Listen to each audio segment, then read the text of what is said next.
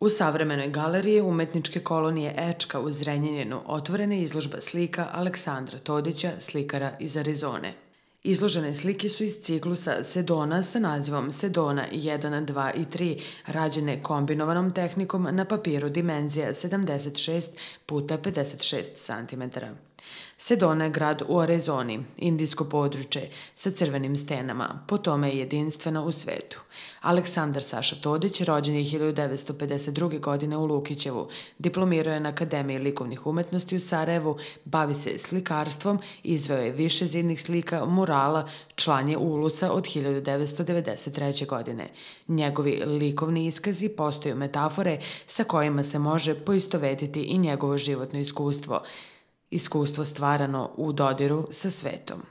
Izložba je otvorena dve nedelje.